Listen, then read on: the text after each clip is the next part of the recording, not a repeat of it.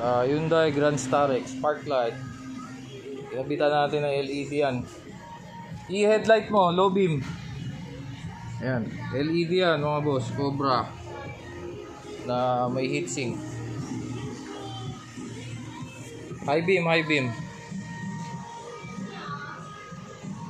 High beam. Patay mo high beam. Ayan, to follow yung pag light natin dyan mga boss. Nabitan din natin ng dome light to mga boss. Ah, LED yan. Saka ito, pinakamaganda. Yung Lenovo natin. Kaya tatanggalin ko na tong plastic. Ayan, Lenovo 7 inches.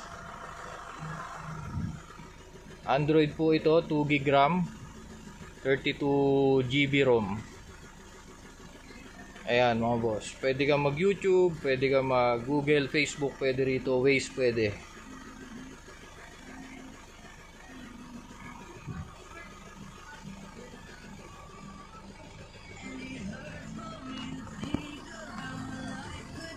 Kinabit din natin yung steering control niyan mga boss oh.